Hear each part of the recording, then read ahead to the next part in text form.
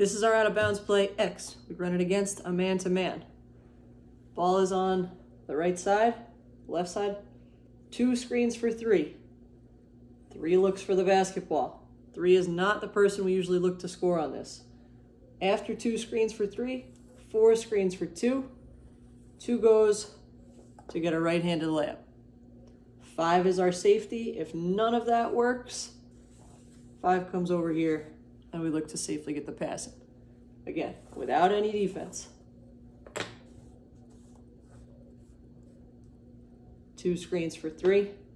Three looks for the basketball. Four screens for two.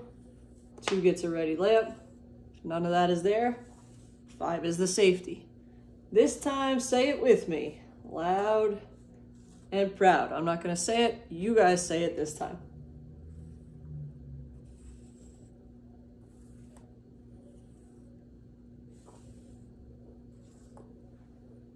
That is X.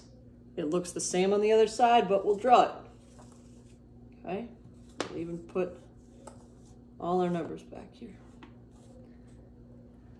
When a ball's on the other side of the court, two screens for three, say it with me. Four screens for two. Two is looking for a left-handed layup. If none of that's there, five goes to the other side. Let's add defense. Okay. We're gonna make it easy and match the numbers up. So now the blue team is on defense. Each number is guarding its other number. Number two, red, looks to screen number three, blue. Number three, red, looks for the basketball there. They might get it.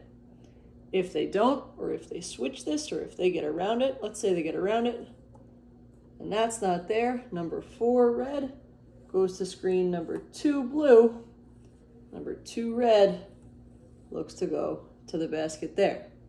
If they stay with that, number five, curls around and looks for the ball.